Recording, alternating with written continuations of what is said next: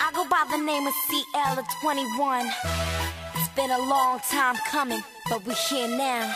And we about to set the roof on fire, baby. Uh oh. You better get yours.